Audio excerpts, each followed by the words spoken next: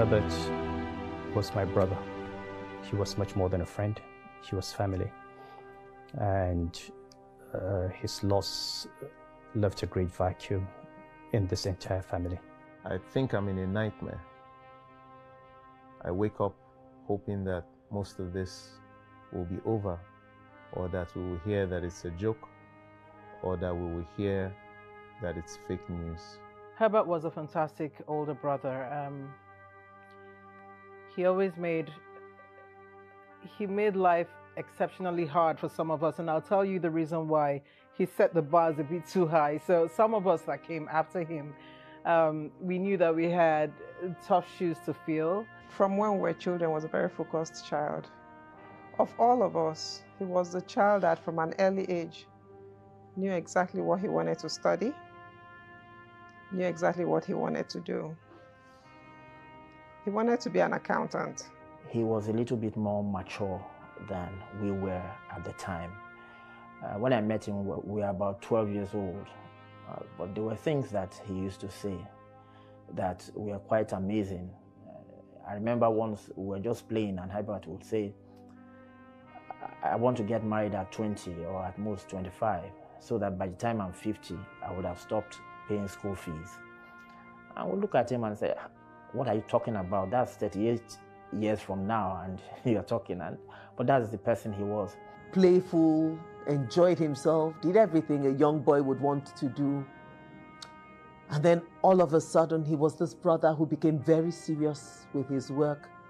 So, in daddy trying to tell someone like me to work like Herbert and look up to Herbert, had said, you know, sometimes you get to a point when you decide you want to become serious and something. And he never turned back. So he became that brother who I saw as playful, who would play Barry White music, will come back home. He wants to play music, he wants to live the life.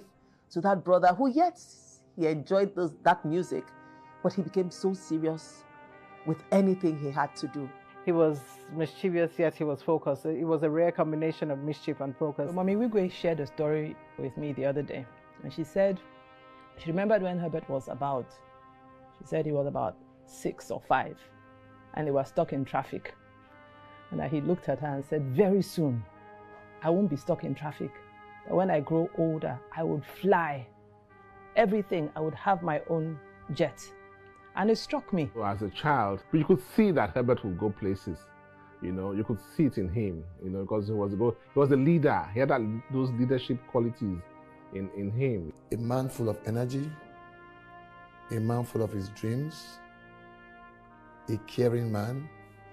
Herbert had such a big heart. He's always been a fearless, audacious person. Dr. Herbert was a selfless person. Herbert always wanted to help to help. I found that about him. Very kind. Person who was full of energy, like he was unstoppable. Always had so much enthusiasm and optimism for life. Herbert's passion for his people in Isiokpo was so admirable and, you know, infectious that you won't help but want to be part of his people. He's fearless and able to achieve what mere men cannot achieve.